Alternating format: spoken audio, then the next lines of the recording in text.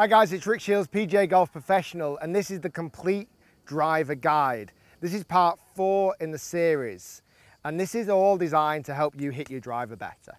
If you're an established golfer, if you are brand new to the game, driver is always a pain for a lot of people. And this series is all designed to help you hit the golf ball way better with driver, better than you ever have done before. If you want to see any of the other parts, they're up here in the corner. I've done an overview. We then talked about setup. I've just covered backswing, and this is all going to be about downswing and impact and how we can still deliver all that effective power we've just created in the backswing and deliver it actually hitting into the golf ball with driver. We're then going to follow up with a follow through video as well, that'll be coming next. But all the links up here in the corner, you can watch them already on my YouTube channel. So what we've covered so far in setup and what we've covered so far in backswing is very much designed to allow us to create speed and to stay slightly more behind the golf ball. So when we come into hit, we're going to hit up into the back of the ball. So now it's our job in how we come down into the shot and how we make impact into the golf ball to keep that angle of attack on the way up. So this is how this is where the, the magic happens. This is where we're going to really hit some great drives now.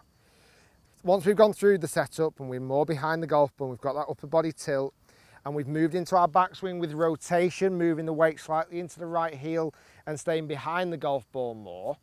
It's now a case of allowing the body's rotation, all of that rotation that you've created in the body, to unwind while you're maintaining this tilt in the upper body. So you're maintaining the tilt in the upper body as your hips and your body rotates through.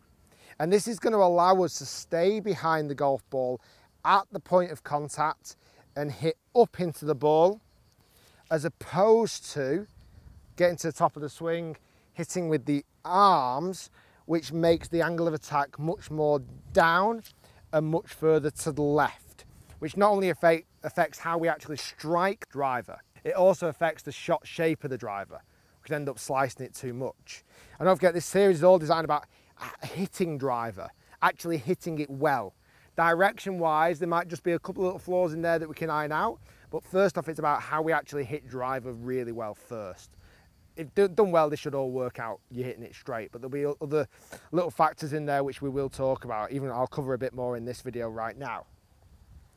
So as I've got to the top of my backswing and I've rotated around that right heel, rotated my torso, my shoulders, my lower body, and I'm slightly more behind the golf ball, it's now a case of keeping that body shape and keeping that extension of the golf club as I go through the shot. And that's going to help that driver sweep much more up on the golf ball. You'll notice as I come into the golf shot here that my shaft angle is coming back through almost as straight as we started the shot. Unlike irons, where we actually try and get the shaft a little bit more this way, in driver, we actually want to keep that shaft coming through relatively level so that we keep the loft high and that we strike up on the golf ball. So, I've rotated to the top of my backswing, I'm unwinding my body, I'm allowing that golf club to hit up into the back of the ball while keeping this body tilt, while keeping my, from my belt buckle to the top of my head, I'm keeping that tilt behind the golf ball. And you'll see this in the shot. My head will stay more behind the golf ball as I come into impact.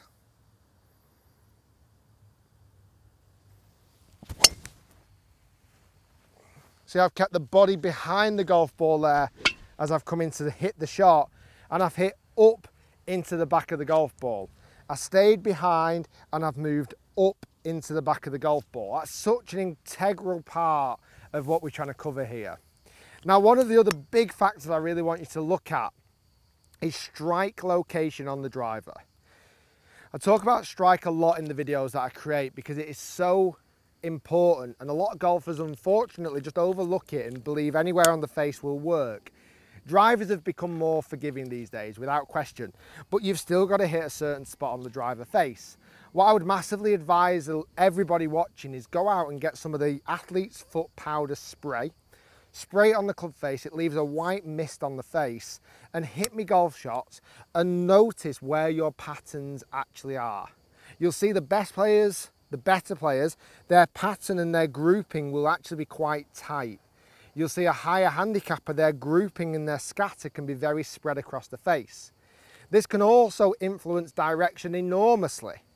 If you hit too much in the heel, the shot shape is going to have more of a curvature with a fade, the slice, if you hit the heel. If you hit the toe, it's actually going to have more of a curvature towards the left. If you hit low on the face, it's actually to have more of an effect of starting low and starting to rise up, spinning up too high. If you hit too high on the face, it might pop up too high with low spin. Higher and slightly towards the toe is absolutely perfect if we can get there, you'll get good spin characteristics, you'll get fantastic height, and you'll get the distance without too much curvature as well. So strike location is really key. So big important aspects on the actual impact and moving the golf club down, coming down. Once you've rotated and moved into that right foot, we're trying to unwind the body, unwind the hips, and hit more up into the back of the golf ball without moving the weight too dramatically towards the left. Guys, thanks for watching. Stay tuned for the final part, which is the follow through, which is just gonna tidy up all of the little loose ends we're gonna be mentioning once you've hit through and talking a little bit more about the eventual weight shift of the driver shot as well. Guys, thanks for watching. Hopefully you're enjoying the videos. If you are, hit that thumbs up button. Comment below which bit of it are you enjoying the most? Which bit has made the biggest influence? I'd love to hear your thoughts down below. And don't forget to subscribe to the channel if you're brand new to it as well. Stay tuned, follow through video coming, well, it's already up there. Click the link, you can watch it now. But as always, take some time to ingest, digest this information and make it work for you. Thanks for watching, guys, and we'll see you next time.